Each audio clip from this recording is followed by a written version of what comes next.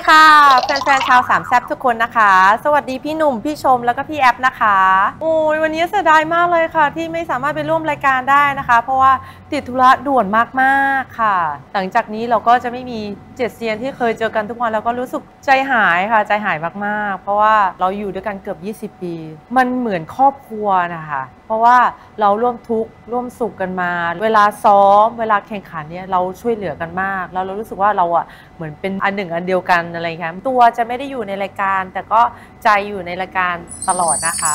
แล้วก็เศร้าพูดแล้วก็เหนื่อยใจไม่เห็นมีใครเข้ามาจีบเราเลยอะ่ะ จริงก็ไม่ได้มีสเปคอะไรมากก็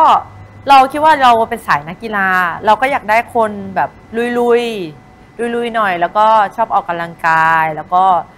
ดูแลเป็นเราชอบคนที่ดูแลตัวเอง แล้วก็มีความเป็นผู้นำโสดนะโสดโสดจีบได้จีบได้นะ ถ้าเผาหนูออกทีวีนะ เจอแน่ หลังไม่เจอแน่ในสายตาทุกคนทุกคนก็จะบอกว่าพี่น้องโอ้ยพี่น้องน่ารักพี่น้องหล่อจังเขาจริงๆเขาก็เป็นคนตลกแหละ เขาก็แบบชอบเต้นชอบอะไรอย่างเงี้ยชอบแกล้งเพื่อนชอบหยอกชอบหยอกน้อง ชอบแซวว่าอะไรอย่างเงี้ยคือเขาจะมีมุมเนี้ยตลอด คนจะไม่เห็นแบบเบื้องหลังเวลาเต้นนี่สุดยอดมาก ไม่เชื่อลองให้พี่หน้องอะเต้นในรายการให้ดูนะ เออสุดยอดมากอันเนี้ยทุกคนต้องเห็นในรายการ